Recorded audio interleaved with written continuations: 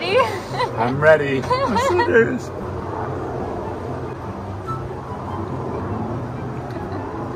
I think that's cashew.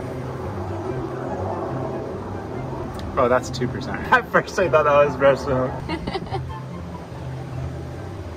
I think that's almond milk. I thought that one tastes good. If that one's your breast milk, I'm gonna be blown away. Uh, I'm leaning towards macadamia. I think that's the breast milk. Ugh.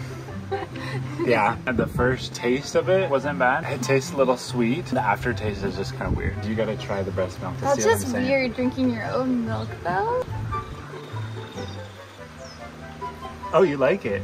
Oh, the aftertaste is not very good. Yeah, it's like a frozen-y taste. It tastes like the freezer.